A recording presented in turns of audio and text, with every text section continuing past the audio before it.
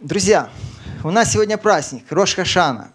Прекрасный праздник, Новый год. Виктор, спасибо, рассказал определенную тради... ну, о традиции праздника. Я немножко тоже в двух словах скажу то, чего Виктор не сказал. Все-таки время 15 минут Торы не всегда успеваешь сказать все, что хочешь и все, что можно. Но в двух словах дополню. Э, Йом Труа. Вообще, как было сказано, библейский праздник Йом Труа – но стал он таковым, э, был он таковым изначально, Рош Хашана стал после чего? После, во время Вавилонского пленения в VI веке. Этот праздник, когда были изменены э, названия самих праздников, ой, название самих месяцев, я прошу прощения. Название месяцев, этот праздник начал называться Рош Хашана. Сегодня мы э, у нас, как говорится, не, не сам праздник, а праздничное служение. Праздник начался у нас вечером 20 числа, был два дня, как уже было сказано. Но скажу так, что сейчас мы с вами находимся, хоть у нас начались только начало дней трепета, но мы находимся в середине 40-дневного периода – такого интересного 40-дневного периода духовного очищения еврейского народа. Почему 40-дневного, спросите вы? Потому что первыми днями, первыми 30 днями были, был один такой очень интересный месяц. Я думаю, что многие из вас знают, это месяц Элул, который был перед Рош Хашана. И что это за месяц? Это был месяц подведения итогов. Мы с вами, я думаю, проводили самоанализ, мы заглядывали в нашу жизнь, мы осмысливали наши поступки и оценивали, насколько же мы возросли духовно в этом месяце. Делал кто-то это? Я думаю, делает, делали, вы просто стесняетесь. Если не делали, то даст Бог со следующего года начнем мы делать, потому что это хорошая традиция. Есть хорошие традиции. Писание, как опять же было сказано, говорит, все испытывайте, хорошего, держитесь. И это та часть, которую мы можем держаться, исследуя себя. Что это за месяц такой, особенный месяц Илу? Это месяц э, особенной близости Всевышнего. Особой, какой-то вот особого состояния близости – это время, когда мы, как невеста Божья, мы переживаем встречу с небесным нашим женихом, внутреннюю встречу. Мы встречаемся с ним. И намек в этом содержится в одной интересной книге, э, в «Песне песней». Есть такой интересный стих. «Я принадлежу возлюбленному моему, а возлюбленный мой мне». И вы знаете, на иврите э, первые буквы э, этих слов, этой фразы, они слаживаются в название месяца Элул. Элул. И э, это может показывать определенные некоторые интересные моменты. Какие интересные моменты мы можем видеть здесь? То, что по сути обращение идет от невесты к жениху. Невеста обращается к жениху, не жених к невесте, а невеста обращается к жениху. И вы знаете, для нас это прообраз того, что мы, как дети Божии в это время, обращаемся к Всевышнему. Но что интересно, месяц Илул – это обычный месяц, в нем нету праздников. И это нам показывает то, что мы, живя обычной нашей жизнью.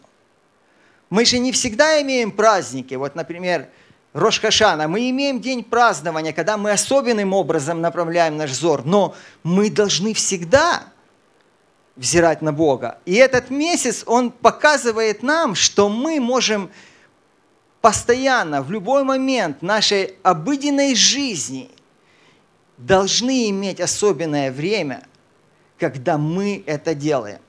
Я думаю, 365 дней в году это делать именно в таком формате будет непросто.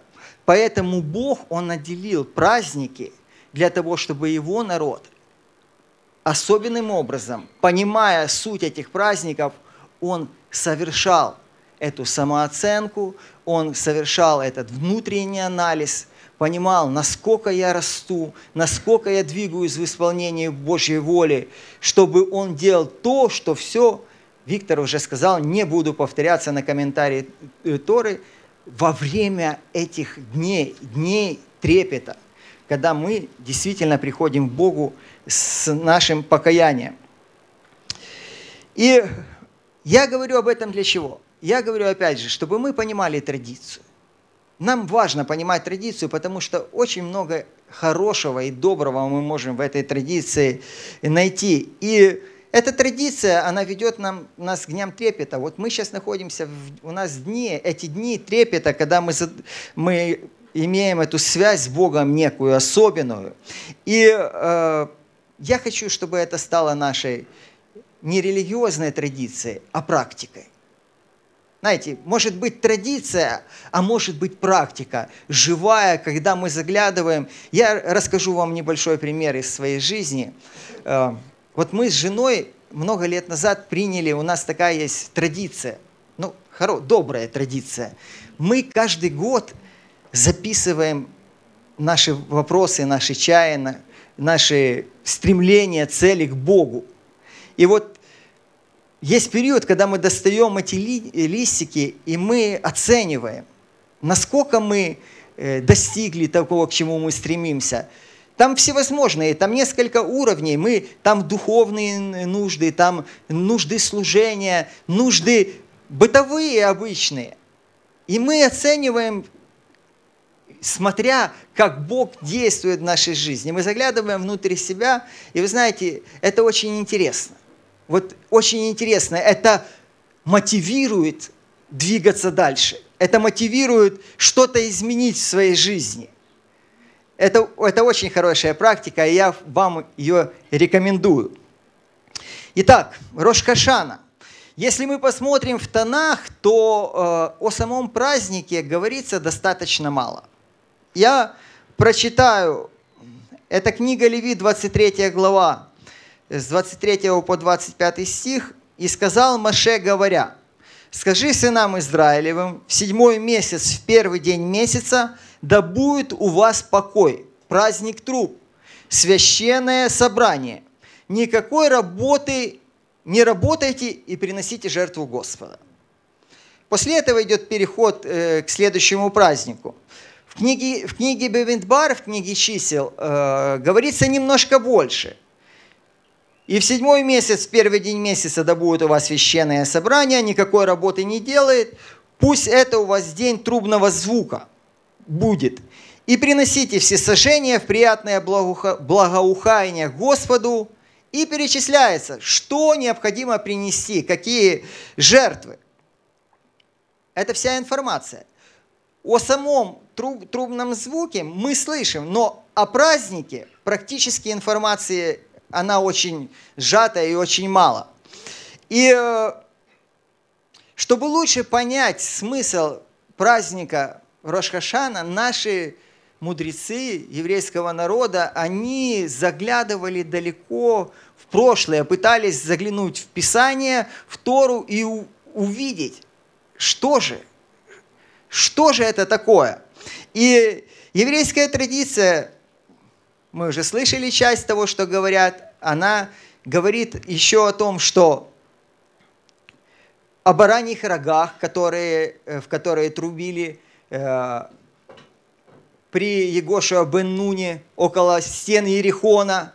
Говорили также, к тому, э, добавляю к тому, что было сказано, также эта традиция говорит, что вспоминают о жертве Исаака, что Бог дал э, заместительную жертву, дал заместительного вот этого вот барана – много, очень э, много моментов интересных, но смотря в Священное Писание, мы можем видеть действительно, звук шафара, он направляет наш взор назад.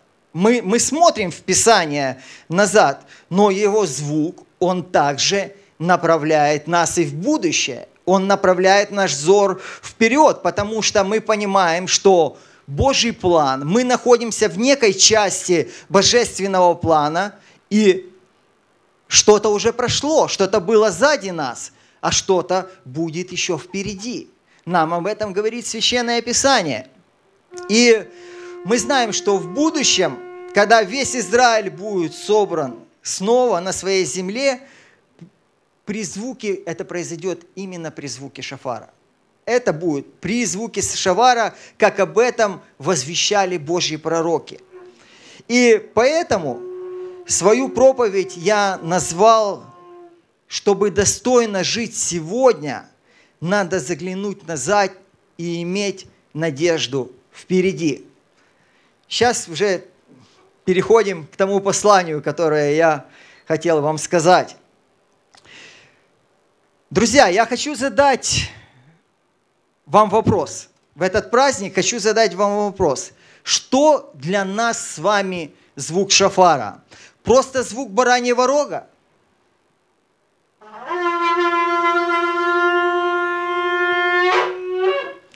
Друзья, или когда мы слышим этот звук в наших сердцах, что-то происходит. Я скажу, что э, действительно звук шафара, он обращает наш взор назад. Мы вспоминаем трубный звук у горы Синай. Вспоминаем? Вспоминаем. Мы вспоминаем, как Бог явил себя еврейскому народу. Мы вспоминаем, как скрупнули стены Ерихона. Мы вспоминаем, как Гедеон и с ними 300 человек победили великое войско мадианитян и амаликитян. Мы вспоминаем, как Давид вносил ковчег в Иерусалим при звуке шафара. И этих историй великое множество, когда Писание нам указывает о трубном звуке. И что это такое?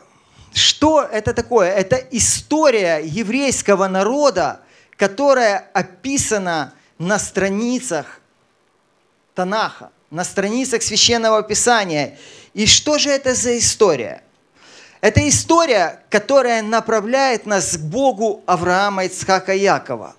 Это история напоминания. Звук шафара – это напоминание нам. И в книге Бемидбара, вот чисел 10 глава, 10 стих говорится – и в день веселья вашего, и в праздники ваши, и в новомесяче ваши, тоже трубите в трубы при жертвах всесожжения ваших и при жертвах мирных ваших, и будут они вам для напоминания пред всесильным вашим. И что это за напоминание, говорит Господь? Я Бог всесильный ваш. Звук шафара напоминает, что Бог, Он наш Бог, всесильный наш. Звук шафара направляет нас к Богу, друзья. И к Богу, который избрал еврейский народ, который всегда был и остается верен еврейскому народу, несмотря даже на его неверность. Мы видим историю, что очень часто еврейский народ, он отворачивал свой взор от Бога. Но Бог всегда остается верный своему народу. Мы обращаем свой взор к Богу, который установил и открыл нам план своего спасения. Он открыл нам его на страницах Священного Писания, и мы можем видеть то, что было сделано Богом, и то, что Он сделает впереди. Он открыл нам это.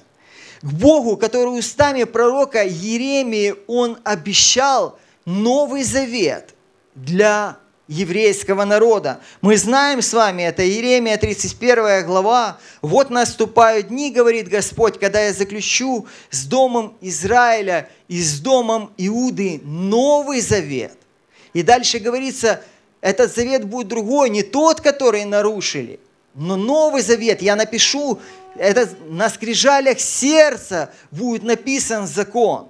И вы знаете, несмотря на то, что не все понимают и принимают, что этот завет уже заключен, он, этот завет уже заключен, этот новый завет, о котором писал пророк Еремия. Он установлен Богом.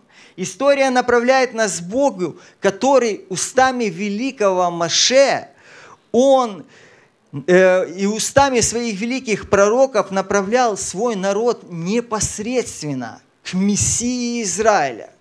И читая Брит Хадаша, мы с вами можем видеть о том, что в послании Галатам написано, «Итак, закон был для нас детоводителем к Мессии, к Иешуа, дабы нам оправдаться верою». И я хочу, с вашего позволения, перевразировать немножко это, э, этот стих, э, если можно это сделать, конечно – я бы сказал, что история еврейского народа, обрабленная Божьим законом, является детоводителем к еврейскому Мессии, который оправдывает всякого человека, верующего в него, в него. А что это значит? Это значит то, чтобы человеку обрести спасение, к которому стремятся люди, внутренне понимая, что мы нуждаемся в спасении, что человеку необходимо обратиться к Ишуа. Чтобы иметь оправдание, нужно обходиться к Ишуа. Оправдание в Боге, мы, пред Богом мы находим только в Ишуа. И это кто, к чему стремится еврейский народ в дни трепета. Это то, к чему стремится, к оправданию – к оправданию, к тому, чтобы быть в правильном положении перед Богом. И человек для этого что должен сделать? Он должен поверить в того, кто две тысячи лет, лет назад сошел с небес, оставил славу с небес и пришел на эту землю для того, чтобы принести это оправдание, для того, чтобы умереть на кресте Голгофы. Потому что Иешуа, Иешуа это сделал, чтобы именно его избранный народ еврейский народ был спасен. Потому что прежде всего он пришел для того, чтобы спасти погибающих овец дома Израилева. И остальные народы, они присоединяются к израильскому народу который имеет ключевую роль в божественном плане, записанном на страницах священного писания. Нет другого имени, которым можно было нам спастись. Из года в год Шафар на Рош Хашана призывает еврейский народ к покаянию, к покаянию, направляя в течение вот этих вот десяти дней, дней трепета к дню искупления – этот день мы знаем, называется также судный день. Сегодня слышали. И сам Всевышний указывает в этот день, в судный, в судный день, что Он праведный судья. Он один праведный судья, а человек нуждается, мы как люди, мы нуждаемся в том, чтобы наши грехи были покрыты. Мы нуждаемся в Божьем прощении. Это очень важная часть. Мы нуждаемся в Божьем прощении. Но знаете, что удивительно? Удивительно то, что сам судья, он стал нашим оправдателем. Потому что, почему это? Потому что сам Иешуа, сам Господь Иешуа в, определен, в определенное Богом время, Он взял на себя наши грехи. Он испытал за это праведный суд. Он испытал, понес на себе этот праведный суд, который Бог должен быть излить, осудив грех. И он тем самым во всей полноте, во всем совершенстве удовлетворил божественное правосудие. Он удовлетворил, он сделал это сполна, совершил полное наше искупление, покрыв наши грехи собою, своей кровью, даровав нам с вами истинное оправдание в Боге. И как говорит Исаия в 53 главе, Господу угодно было поразить его, и он предал его мучению, Когда же душа его принесет жертву милостивления, он узрит потомство долговечное, и воля Господня благоуспешно будет исполняться рукою его. На подвиг души своей он будет смотреть с довольством, через познание его праведник, раб мой, оправдает многих, и грехи их на себе понесет. Амен, друзья. И звук шафара сейчас он направляет звор еврейского народа назад в историю, призывая его к покаянию за неверие, в покаяние за неверие в того, кто есть истинное искупление и оправдание. И провозглашая год за годом, звук шафара провозглашает искупление – оправдания своему народу в Иешуа Мессии. Для тех же, кто уже уверовал в Иешуа, что такое звук шафара?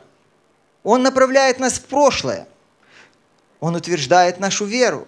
Не правда ли? Когда мы смотрим на те обстоятельства, на те истории, о которых Писание описывает жизнь патриархов, в которых Писание описывает жизнь нашего народа, на то, как они проходили эти испытания, мы вдохновляемся и мы становимся способны, взирая на Бога, проходить наши испытания. Ведь я думаю, каждый из нас что-то проходит. Я всегда говорю, чем мы отличаемся от неверующих людей? Практически ничем. Визуально мы такие же самые. У нас нету некого, некого такого особенного видимого отличия. Да, нимба нету, но у нас есть надежда и вера. Вера в Бога. Это нас отличает. То, что когда возникают какие-то вопросы, мы верим, что Спаситель нас жив. Мы верим, что Бог поступит так, так как Он говорит в Своем Слове. Он не изменяется. И когда мы проходим испытания, это прекрасное время, мы заглядываем внутрь себя и говорим, Боже, я знаю, ты праведен. Наверное, мне надо что-то посмотреть внутри себя. Мы оцениваем, изменяемся, преображаемся, молимся, каемся. Это прекрасное время. И история, она учит нас. Учит нас проходить наши испытания, жить нас, она учит нас жить. Жить правильно, жить праведно. И я скажу, что Бог хочет, чтобы мы были дороже золота. Вот в этих испытаниях мы становимся дороже золота. В огне испытания мы очищаемся. И в этом прекрасном празднике сам Всевышний напоминает нам о трубном звуке, утверждая нашу веру. Он утверждает нашу веру, чтобы мы совершали путь нашего спасения. Совершали его в страхе, в страхе и трепете. Совершали его в радости пред лицом Всевышнего. Итак, друзья, что для нас звук шафара? Просто звук инструмента, издающего удивительный звук, направляющий нас в прошлое –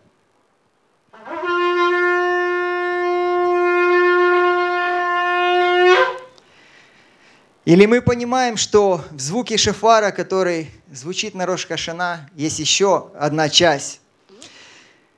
Я скажу так, что Бог хочет, чтобы мы не просто совершали со страхом и трепетом путь своего спасения. Это не то, что Он определил для нас в полноте. Это одна из частей. Бог хочет, что, чтобы мы с вами, мы с вами стали Божьими шафарами – которые будут возвещать спасение еврейскому и нееврейскому народу. Чтобы мы возвещали, что Ишуа, Он есть Машиах, царь и спасение этому миру.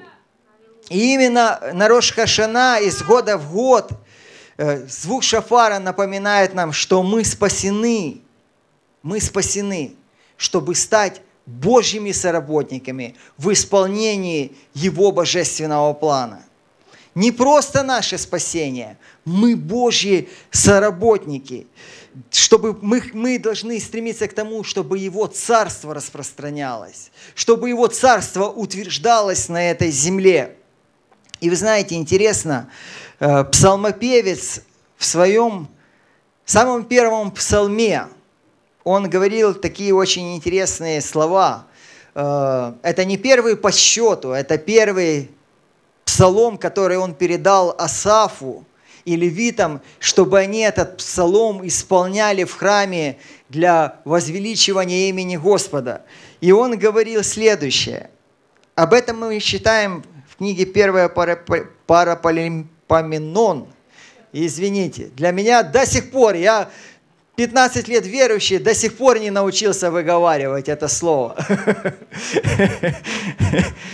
Пойте Господу вся земля, благовествуйте изо дня в день спасение Его, возвещайте язычникам славу Его, всем народам чудеса Его, ибо велик Господь и достохвален, страшен паче всех богов. Благовествуйте изо дня в день спасение Его. И Бог избрал нас, чтобы мы как раз благовествовали – изо дня в день его спасения. Сам Ишуа во время своего земного служения, он дал нам это поручение. Я думаю, все вы знаете великое поручение Иисуса Христа, Ишуа Мессии. И понимаем ли мы это? Понимаем? Или мы думаем, ну, я буду сторонним наблюдателем. Это как бы не совсем мой дар, но я думаю, что не так. Я думаю, что мы понимаем это. Мы понимаем это, потому что Писание, оно говорит об этом. В первом послании Петра, в Брит Хадаша, апостол Петр, Кифа, он говорит следующее. «Но вы род избранный, царственное священство, народ святой, взятый в удел, дабы возвещать совершенство, призвавшего вас и смыв чудный свой свет. Некогда не народ, а ныне народ Божий, некогда не помилованные, а ныне помиловании. Прекрасные слова. Некогда не народ, а ныне народ. Мы народ, который призван возвещать совершенство призвавшего нас из тьмы в чудный свой свет. И значение слова «возвещать» что это значит? Это сообщать, это уведомлять, это разглашать. Мы должны сообщить всем, что Спаситель наш жив. Мы должны разглашать это всему миру, заявляя, что Ишуа – Мессия Израилева. Мы избраны Богом, чтобы стать Божьими глашатаями, Божьими шафарами, собирающими Его народ в Его царство. Бог, царь Израиля и царь этого мира, и Его царство – оно будет установлено здесь. Несмотря на то, что сейчас здесь есть, присутствует царство тьмы, царство князя сего, мира сего, мы знаем, что Иешуа, наш царь, и то царство, которое есть внутри наших сердец, оно в определенное Богом время будет видимо установлено на земле.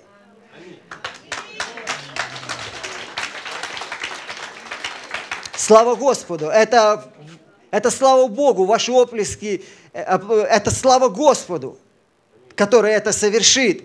И я хочу сказать, давайте немножко поговорим на чистоту. Да? Можно? Не, не, немножко на чистоту. Все-таки человеку, вот мы, мы существа с плохой памятью. Да? И, наверное, это было во все времена и во, все, во всех народах. Поэтому Бог и установил свои праздники, чтобы они были напоминанием, чтобы они нас как раз направляли, не дали нам забыть об этом. Но люди 21 века у нас это напоминание прогрессирующее. Знаете, оно как-то вот, забывчивость наша, она увеличивается с каждым годом. И для этого, я думаю, у многих из вас есть в ваших телефонах такая функция, напоминалочка себе так. Опа, я себе ставлю так, комментарий Торы. У меня дзынь там за, за недельку, сигнальчик, оп, что-то надо сделать, дзынь, все. И скажу так, что э, звук шафара – это Божий дзынь для нас с вами. Это Божие напоминание о том, что есть у нас призвание. Есть призвание нести Божье Царство этому миру. И напоминание – дело, конечно, хорошее, да, вот, ну, напомнили. Ну, можно забыть опять. Человеку нашего времени просто необходима внутренняя мотивация. Если у нас не будет внутренней мотивации, вряд ли мы что-то будем делать. Можно сказать, что мы служим Богу, конечно, еще своей благодарности. Я думаю, это первая, самая главная мотивация в, нашей, в наших сердцах, что мы благодарны Ему за то, что Он совершил ради нашего спасения, за жертву Иешуа. Но давайте опять будем говорить с вами на чистоту.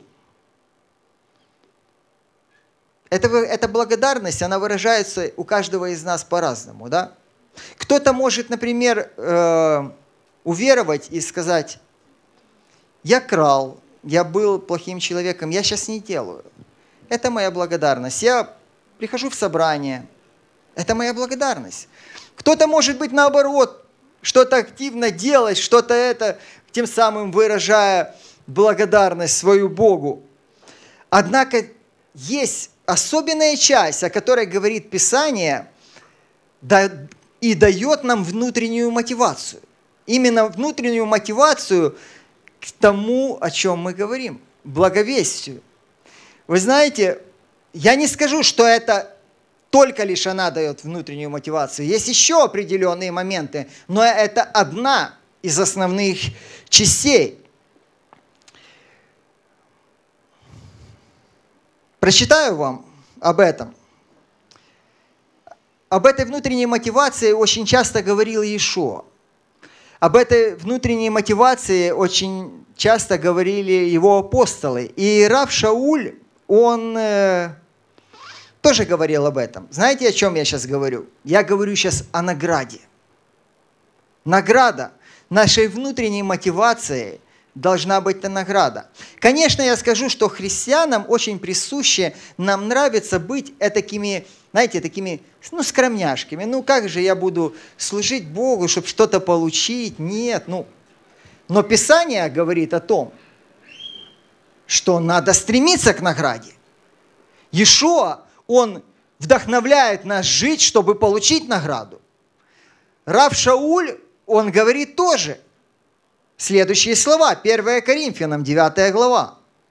«Ибо если я благовествую, то нечем мне хвалиться, потому что это необходимая обязанность моя.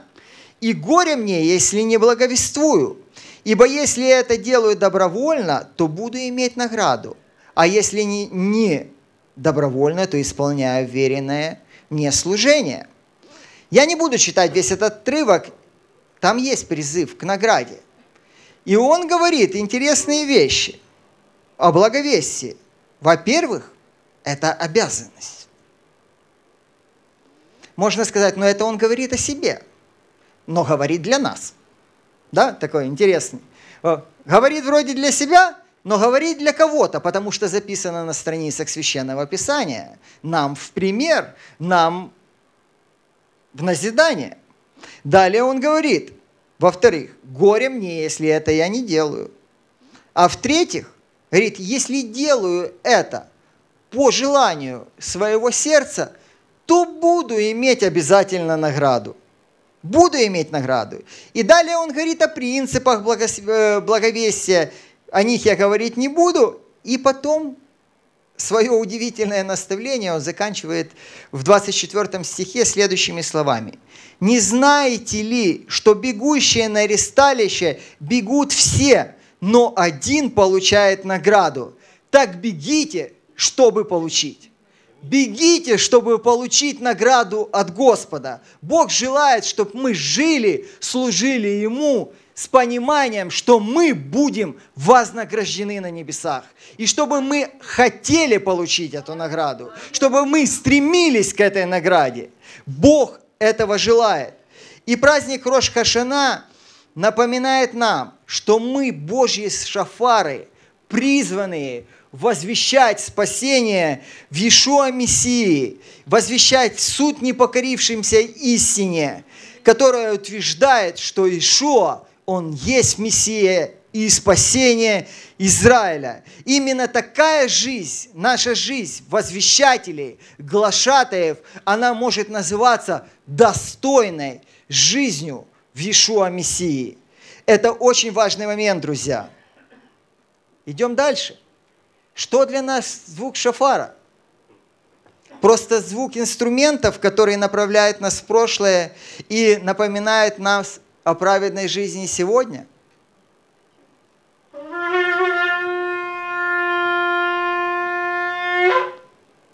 Есть в этом звуке еще одна часть.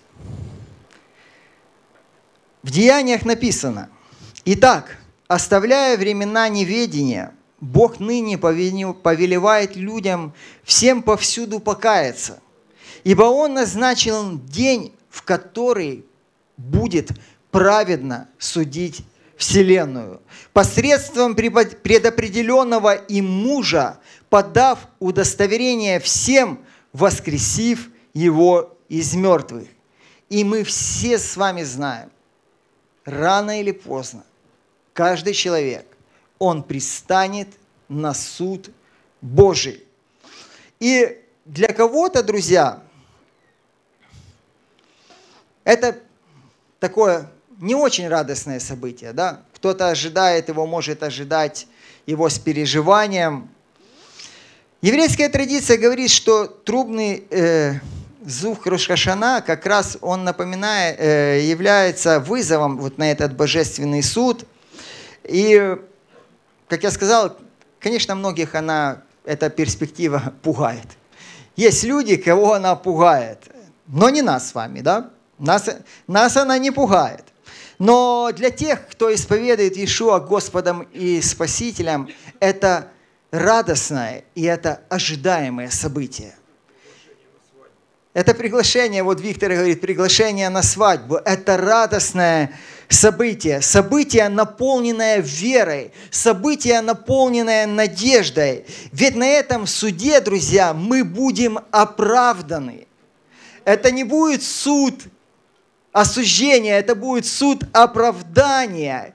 И каждый из мессианских верующих, каждый человек, который исповедует Иешуа Мессии, каждый на этой земле, будь то еврей или не еврей, он получит не, не наказание, а получит награду.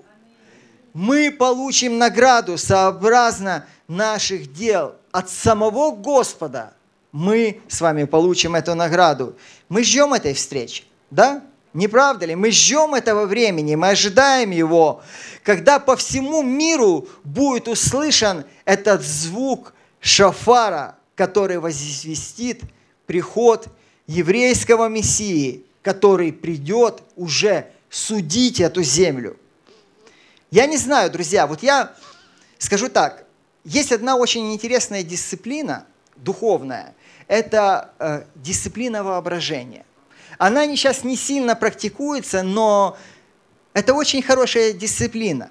Я скажу, что, конечно, фантазировать не надо, можно такого нафантазировать, что не приведи Боже, но можно представлять себе определенные вещи. И я вот представляю в своем уме эту как же это будет. Мне интересно, вот как это будет происходить.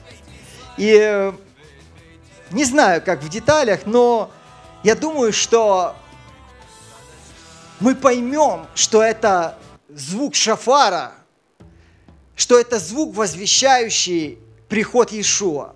Я думаю, что в момент, в этот момент в наших сердцах будет происходить какое-то особенное переживание, какое-то особенное состояние трепета встречи с Иешуа. Писание об этом не говорит, это, это мое такое понимание, но я знаю, что эта встреча состоится.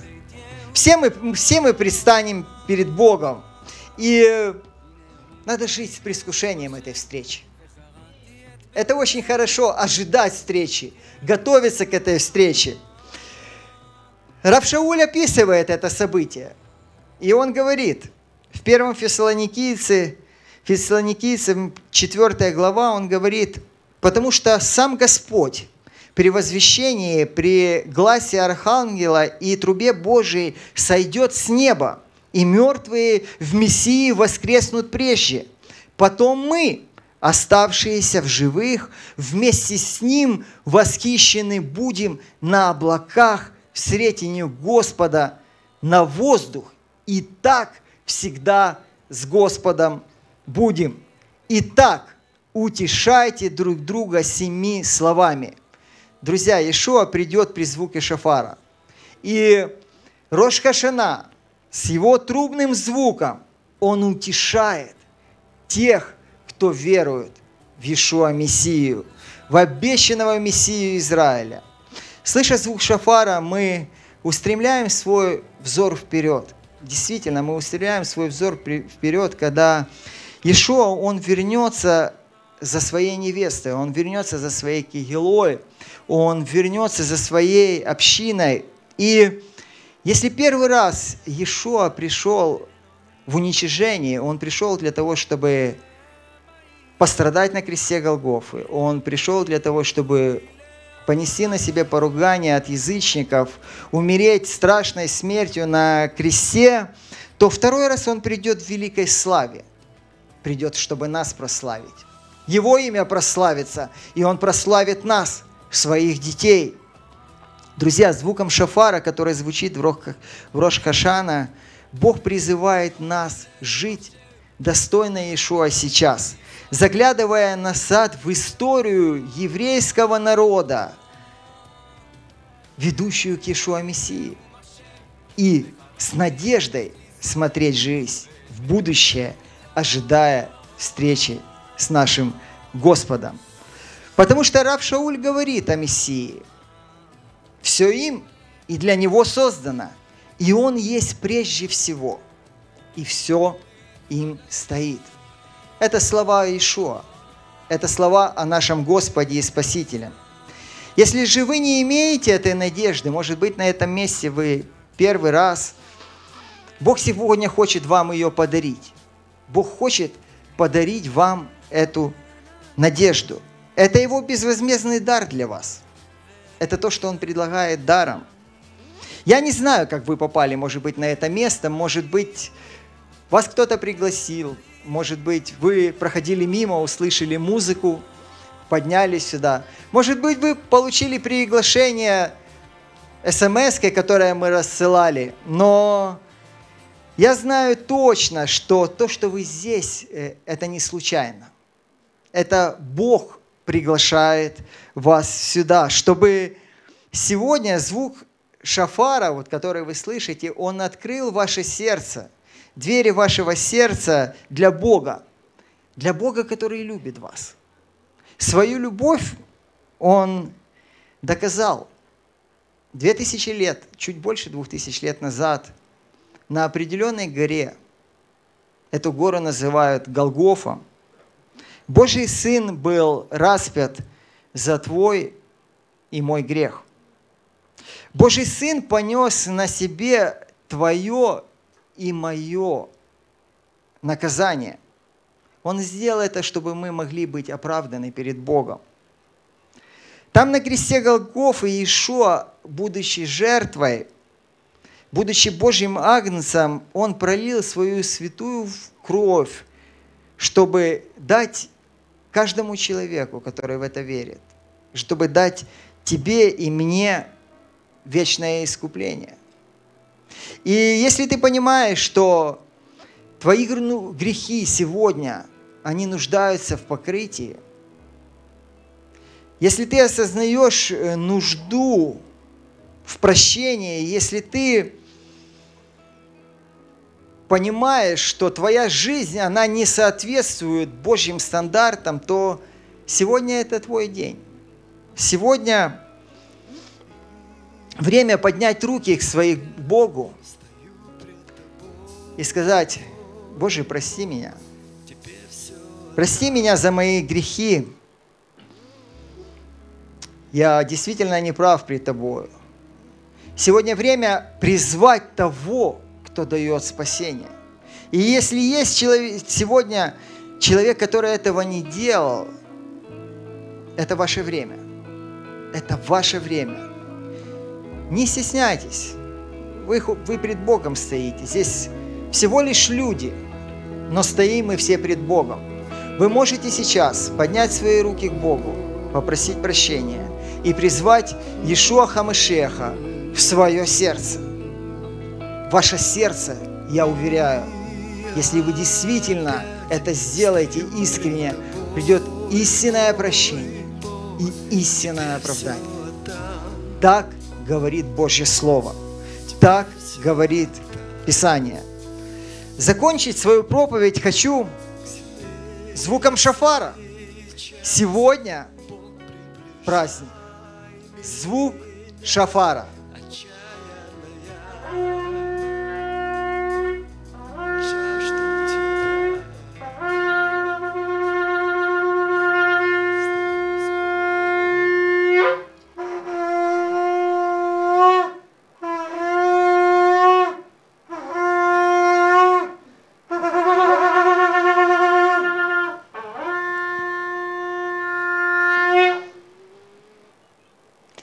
Псалмопевец Давид говорил следующие слова.